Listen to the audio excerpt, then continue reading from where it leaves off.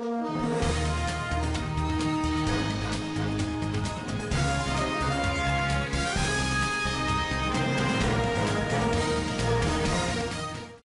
Chamisa, the head of the Citizens Coalition for Change CCC, has disclosed that Zimbabwe's ruling ZANU PF party has expressed interest in speaking with the opposition to resolve the post election impasse in the nation. Chamisa claimed that ZANU PF contacted him after the opposition group declared its withdrawal from municipal and parliamentary institutions in opposition to the recall of its lawmakers. Sengezo Tshabangu, a former MDC official, shockingly engineered the mass recall of the party's legislators and senators, causing a crisis for the CCC. To compel the recalls, Tshabangu, posing as the interim Secretary General, sent letters to Jacob Mudenda, the Speaker of Parliament. Christopher Mutsvangwa, a spokesman for ZANU PF, had earlier claimed that Chamisa had dispatched envoys to seek negotiations with the government. Chamisa refuted this, claiming that ZANU PF was the one who made contact.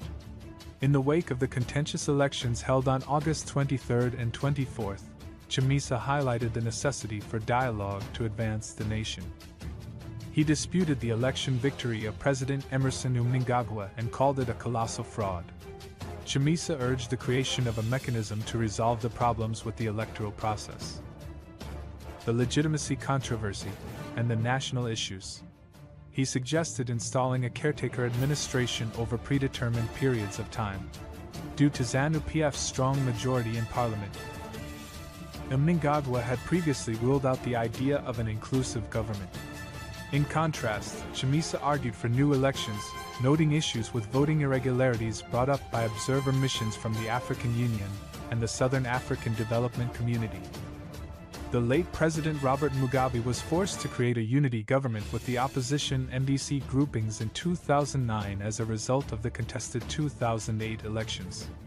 As MDC leader Morgan Tsvangirai withdrew in protest of violence committed by ZANU PF and state security agents. Mugabe won the sham runoff election in a one man show. From 2009 to 2013, Zimbabwe had a unity government that brought about some degree of peace and economic stability. The unity government was opposed by Chamisa, who also emphasized the need for a transitional administration to handle the nation's political issues. In order to address the legitimacy crisis and other difficulties affecting Zimbabwe, he emphasized the necessity of support from all stakeholders, including ZANU PF and the CCC.